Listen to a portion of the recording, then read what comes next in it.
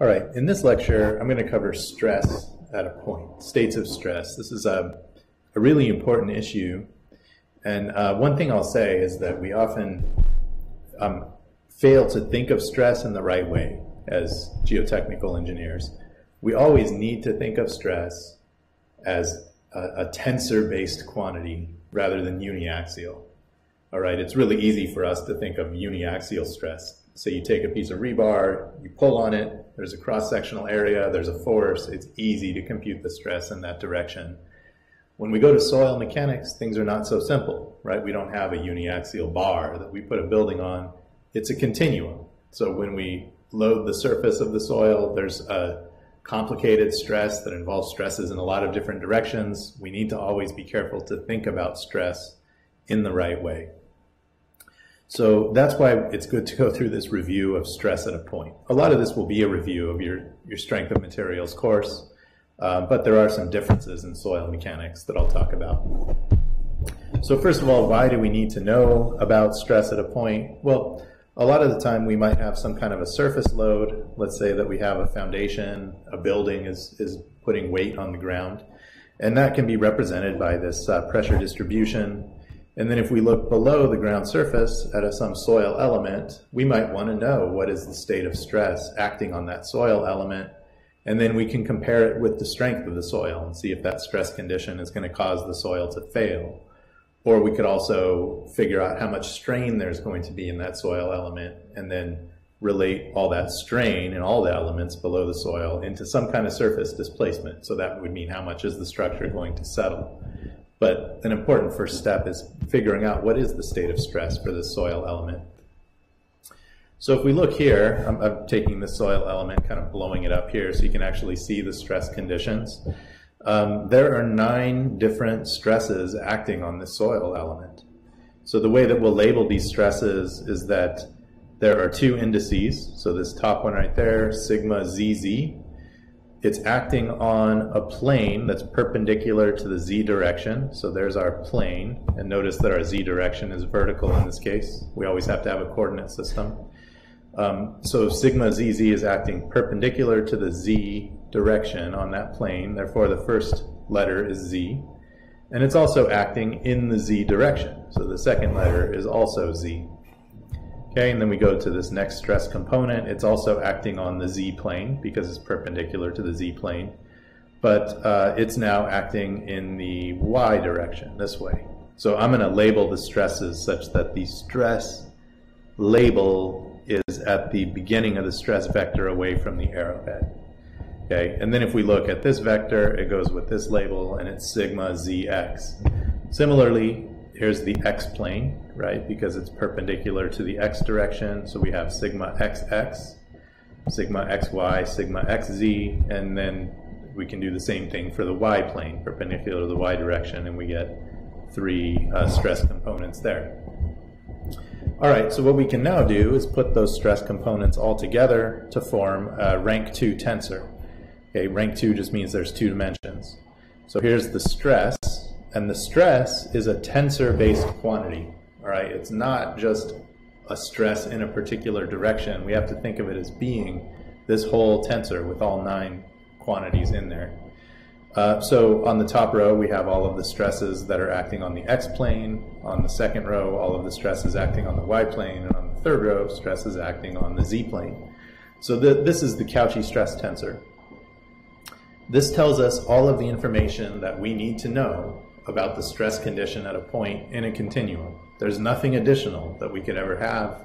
If we take things away from this, which we will do in just a minute, I'll explain why, uh, then we actually are missing information, right? So this is the minimum set of information we need to fully know the stress condition, and we can't have any more information than that. So the Cauchy stress tensor is kind of it. Uh, okay, the, the Cauchy stress tensor is symmetric. So it has this property that um, stresses with the same letters are the same, regardless of the order in which those letters appear. So sigma xx is equal to sigma yx. That means that this cell is equal to that cell. zx is equal to xz, right? These two are equal. And then yz is equal to zy. So those two are equal.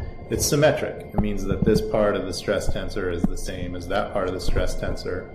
And in reality, even though we have nine numbers or nine values in the stress tensor, there are only six unique values, right? The numbers on the diagonal, and then the values that are on the off diagonal, because once we know those, then we know these two. So they're not, you know, we only need to know six different numbers to fully know the stress tensor. All right, now um, let's talk about the sign convention for stress. In um, strength of materials, you probably used the sign convention where tension is positive. Um, and in fact, if you look at the stresses that I drew, it would kind of make sense to make tension positive because that would be in the upward z direction. All right, now uh, we do things differently in soil mechanics just because of the nature of soil material. All right, if you imagine that this is a little cube of sand and all the grains are pushed against each other, okay, you can't pull on the sand, right? It's not going to sustain that tensile stress, it'll just fall apart. Whereas it can sustain compression. You can push on it, you just can't pull on the sand. Um, well, it would be really annoying to constantly have negative signs. If uh, we can have compression but not tension, we would just have negative signs all over the place in soil mechanics. So we adopt the opposite sign convention. Compression is positive for us, just so that we don't have to write those negative signs all the time. So that's, that's one thing that's a little different from your 108 class. So what I've done here is drawn in two dimensions, right? So we only have z and x here. These, um, these are positive stresses shown here in this cell. So compressive stress in the z direction, compressive stress in the x direction. And then the shear stresses are positive this way because they would tend to make the element deform in such a way that the slope here is positive, right? So um, that's why those shear stresses are positive. So anyway, if you get confused, you can always just come back to this diagram and look at what the sign conventions are. And then uh, similarly, um, or conversely, these are negative stresses, right? So tensile stresses going up or out, and then shear stresses that tend to make the soil deform in a way that that slope would be negative, right? So uh, fairly straightforward, just keep in mind those are the sign conventions. All right, now one thing that I've done too in going from page one of my notes to page two of my notes is I've switched from three dimensions to two dimensions, right? Up here on page one, I had to draw this three-dimensional diagram. It had, you know, three different faces on which the stresses were acting, but of course there's also the other three stresses that are not visible, so six total faces there. And we had a three by three rank two tensor. Uh, okay, now here, I went to two dimensions. That's so much easier to draw, right? Because I'm drawing on a flat surface that's two-dimensional. So a lot of the time, because of simplicity, we ignore one of the directions. We only include two coordinates. Um, so although we live in a 3D world, we often ignore the stresses that correspond to one of the directions, and we simplify our lives a lot. And we'll do this a lot in this class. Okay, we'll take the 3D world, simplify it to a 2D world, just because it's easier. That doesn't make it correct. Okay, one thing to remember is that when we do two-dimensional coordinate systems, we're actually doing it wrong. We are ignoring information that might potentially be important, but we're doing it because we make our lives a lot easier. Uh, and we can do things like the Mohr circle, which I'll, I'll talk about uh, in the next lecture. So here's what we have now, right? Instead of a 3 by 3 tensor, we have a 2 by 2 tensor. And I write here, wait, what about sigma yx, sigma xy, sigma yz, sigma zy, and sigma yy? Okay, well, in real life, they exist, right? We, we have a uh, xz coordinate system here, so we're just ignoring the y stresses. In real life, they exist. We're just, we're saying we don't care about you right now, y value stresses. We're just going to make our life simple by getting rid of you. All right, so much simpler, but we're ignoring potentially important information. And I just always want you to remember that this is not correct. It's just simple. Um, okay, now let's talk about coordinate transformation. This is a really important concept here because it sets up um, how we compute principal stresses and stress invariants. Um, and it also has application to the Mohr circle, which is a graphical representation of a coordinate transformation. So uh, let's say that we know the stresses on vertical and horizontal planes. We know that the sigma zz, sigma xx, and you know, sigma xz and zx are the same, so we only have to know one number and then we know the other one too. But, but let's say that we wanted to know the stresses oriented on some rotated plane. And uh, there are a number of reasons why we might want to do this. Like, for example, we know them on this plane, and then we're worried about uh, sliding or something along an inclined plane. Maybe there's a slope stability problem, and we're worried about what's the shear stress acting on that plane that might cause this mass to slide. So there are real reasons that are physical for us to want to rotate coordinates a lot of the time. We're doing it here just to motivate um, principal stress derivation. All right, so what we do is we rotate the coordinate by an angle theta, and we have a new coordinate system, z hat and x hat. All right, so we have new stresses. These stresses all change now when we rotate the coordinate system. We get sigma zz hat, sigma zx and xz hat, and then sigma xx hat. And the way that we can calculate those stresses is to use the coordinate transformation tensor, which I'm calling lowercase a here. All right, so we have the uh, stresses on the rotated coordinate plane, this is a 2 by 2 stress tensor sigma hat, is equal to A, which is this 2 by 2 tensor, cosine theta minus sine theta, sine theta, cosine theta. Then we multiply it by sigma, and then we multiply it by A transpose. So notice that the signs, um, the negative sign on the sign terms have switched. So this is A, this one's A transpose. Or stated really simply, sigma hat is equal to A times sigma times A transpose, right? Where each one of these is a, is a tensor now. Um, okay, well, this is not too difficult to do. The matrix algebra is super easy. You can multiply this one through, then get the resulting 2 by 2 tensor and multiply it by this one.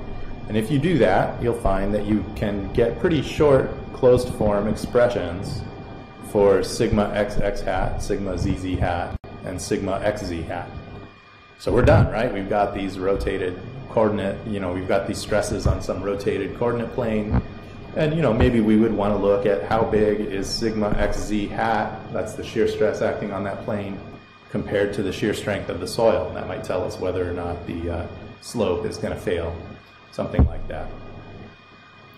Um, okay, but let's take it a little bit further.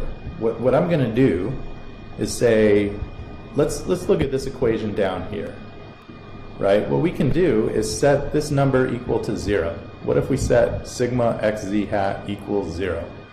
Well, we can then solve for the value of theta. So how much do we have to rotate it?